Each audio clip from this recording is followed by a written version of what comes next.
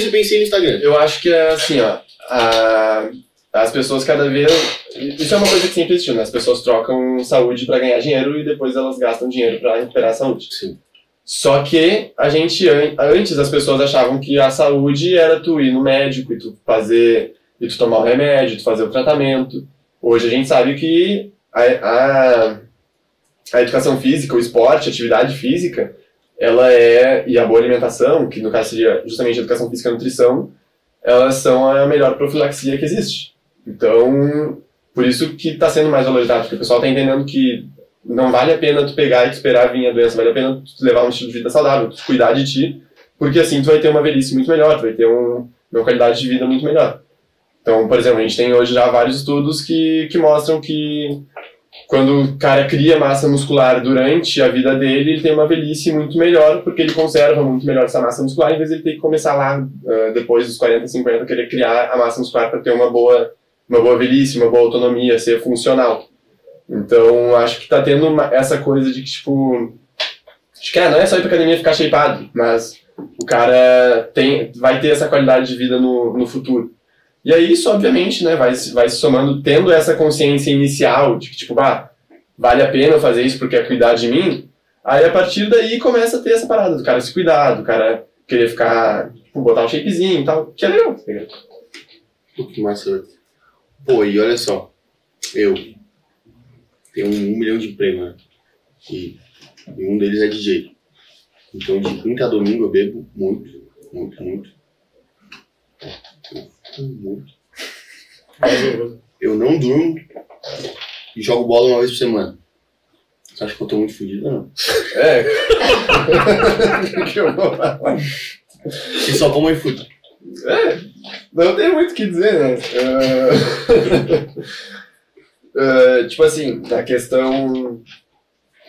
A questão do treino, né? Pro cara ter resultado, tem, eles têm três pilares e nenhum desses pilares ele é, ele é compensável. Então, você não pode reduzir um pilar e aumentar no outro, porque eles não, não são. Eles não se compensam. Então, não existe isso de dar, tipo, 50% na dieta, mas dar 150% no treino. Entendeu? Não tem como tu compensar essa, essa tua defasagem em algum desses pilares, que é o treino, a dieta e o descanso. Então, tipo, tá pecando nos três. Três. Tu não, tu não come direito, não treina direito, não dorme direito. É, isso. isso daí é uma parada que, que o pessoal às vezes não, não entende, cria essa mentalidade diferente de que, meu, eu não curto muito fazer dieta, então eu vou me dedicar full no treino, vou treinar pesado pra caramba e vou relaxar um pouco na dieta, porque, ah, eu me dedicando muito aqui um pouco aqui, é um resultado mediano, vou ter um resultado mediano. E, e não é isso, porque se tu não se dedicar muito nos dois, tu vai ter um resultado merda. Porque é justamente isso, não tem como tu fazer esse contrabalanço entre as duas coisas, porque não existe não, não existe essa média. Não tem como negociar com o teu existe, corpo. Exato, não tem como tu fazer essa negociação. Então, basicamente é isso. O que eu tenho que fazer? Tem que dormir bem e Não, te alimentar bem. dormir fora de cogitação. Não tem, só se eu- o dia tiver 30 horas. Mas tu tem que fazer aquele lance lá que o Wesley e o Andrei falaram, pô. Veio dois neurocientistas aqui. Tipo, tu tem que. Tipo assim, ó, tu chegou da festa, sei lá, 5 da manhã. Ah, tenho que trabalhar às 7, às 8. Ah, né, não dá. É, exato. Aí não dá. E é, e é uma coisa que, assim, a, a bebida, ela atrapalha em, em vários processos, né? Tanto o processo de, de síntese proteica, quanto uma série de outras coisas, mas o teu sono, ele é uma... Fora isso, né? Fora, tipo, a função de, de afetar diretamente o teu resultado no treino, ah, afeta muito o teu sono, porque o teu sono é uma coisa tu chegar em casa tranquilo, dormir, é uma coisa tu chegar, tipo, ah, mamado, deitar na cama com o mundo girando e dormir. Tipo, o sono é a mesma coisa. Então, Mas, isso. mas, tipo assim, ó, eu vivo. Cara, eu vivo com sono. Minha vida é sono. Tipo, eu tô com muito sono agora. Tipo, todo momento eu tô com sono. Tipo, eu chego em casa, deito na cama eu apago. Porque eu não tenho tempo de dormir, então quando dá eu apago. Tu acha que se eu treinasse, ou sei lá, jogasse futebol mais vezes, ou eu ia ter menos sono? Ou ia ter mais ainda? Não, porque, porque é uma questão, tipo assim, é, é compreensível uma pessoa que, tipo, ah, que dorme bem, né, no caso tem boas horas de sono, não, não necessariamente o sono vai ser de qualidade. Mas, tipo, se a pessoa dorme boas horas de sono e o sono não é de qualidade, a atividade física pode melhorar a qualidade do sono dela. Então, só que é uma. Só que, tipo, dorme duas horas por dia, adicionar atividade física, ela não vai fazer mágica com essas duas horas de sono que tem, entendeu? Então, Não, não, mas ó, de segunda a quinta eu consigo dormir mais sete horinhas, oito. Daí tu acha que é legal, é legal dar uma, uma treinada aí? Cara, Só pra certeza. não morrer amanhã, tá ligado? com certeza. com certeza. É. Óbvio. Não, com certeza. Sempre. É aquilo, tipo.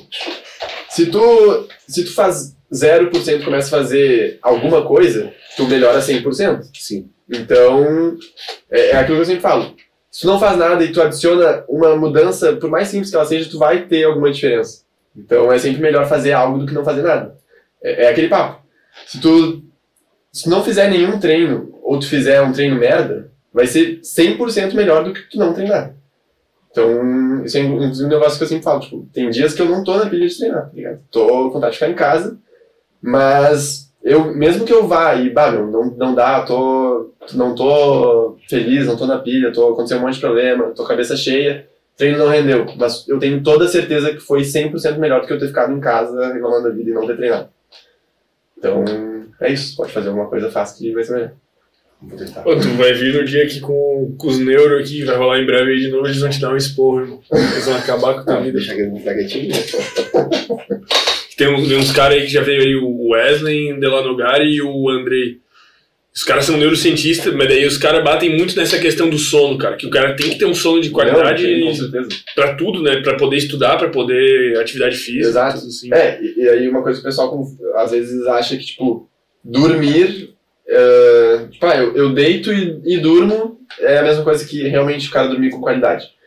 Então, por exemplo, tem. Até no, no próprio clube, tipo, teve uma aula ali que o pessoal comentou, tipo, ah, meu.